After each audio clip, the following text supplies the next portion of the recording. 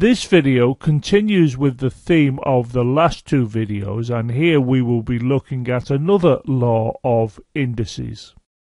When raising the power of a value to a power, multiply the indices. Consider this, you can see that a is being raised to the power m. So a is the base and m is the index, sometimes called the exponent. Now I'm going to put this in brackets. Now I'm going to raise the content of the brackets to a power and you can see that's the power of n. Now for this what we do, we multiply together the indices as shown here. So if you have a number raised to a power that you then raise to another power, then you can see here that you multiply the indices. Here we can see the law expressed. So let's now look at this with respect to a more concrete example as you can see here. Here we can see the base is being raised to the index of 3 and this is then raised to the power of 2 or the index of 2 or the exponent is 2. And what we can see here is we multiply together the indices and that will give us a to the 6 because 3 times 2 is clearly 6. I'm going to rewrite this below by expanding the contents of the brackets as you can see here. I have three lots of a's all multiplied together and outside the brackets you can see I have the 2 indicating that the contents of the brackets are squared. Now this too is telling us we have two lots of the brackets multiplied together. Well here you can see there is one lot of the brackets, here is another lot, and of course we multiply them together as you can see by that bouncing multiplication sign. If you now consider all of this, you can see that there are six A's that are all effectively being multiplied together, so this can be made equal to A to the 6. And of course this a to the 6 is a repeat of what we saw here, so it is valid for us to multiply the indices together as shown here. Let's now look at another concrete example where we choose a value for the base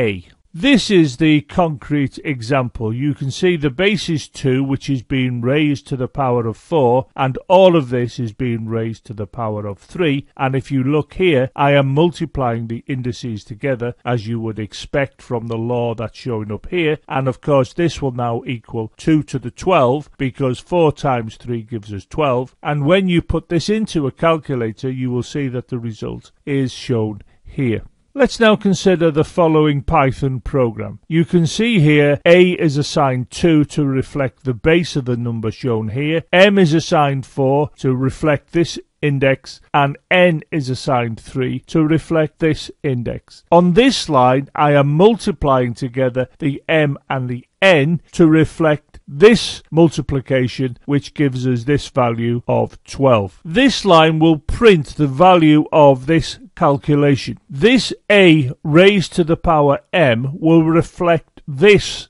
2 raised to the power 4. And of course, we then can see that this is in brackets. We then raise the brackets to the power of 3, which reflects this bit. This line will print this calculation's result and if you look at this you can see we have a raised to the power of this where we've multiplied together the m by the n and this calculation reflects what you're looking at here. This last line of the program will print the result of this calculation, which you can see is the base, which is 2 in the example above, raised to the power of p, where p is shown here as being the multiplication of m times n, which clearly gives 12. So what this is reflecting is this 2 to the 12 here. Let's now consider the runtime for this computer program as shown here. And all of these three print statements you can see give us a result of 4096 in each case, which reflects the value we were expecting to see as shown here.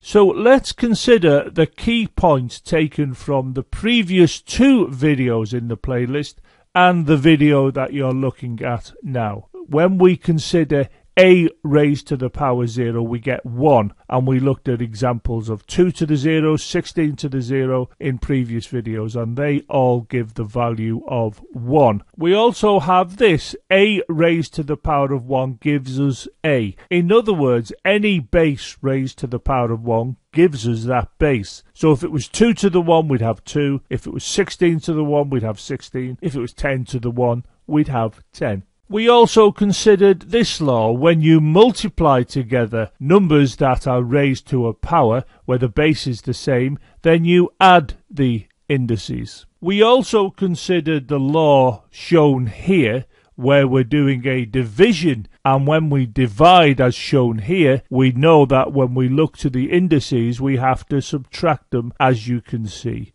here. Now this video has introduced another law of indices as shown here. If you have a number raised to an index and you then raise that number to another index then what you can do is write down the base and as shown here multiply the indices. Now the law of indices as represented on this slide are important for mathematics in general. Now, the reason I've gone over these is for review because if you're going to look at complex numbers, a firm understanding of the law of indices is important. Now, the next video in the playlist is going to have a look at indices as they apply to roots. And in particular, we're going to be looking at how we have the indices representing the square root of a number. Check out the supporting website for these videos.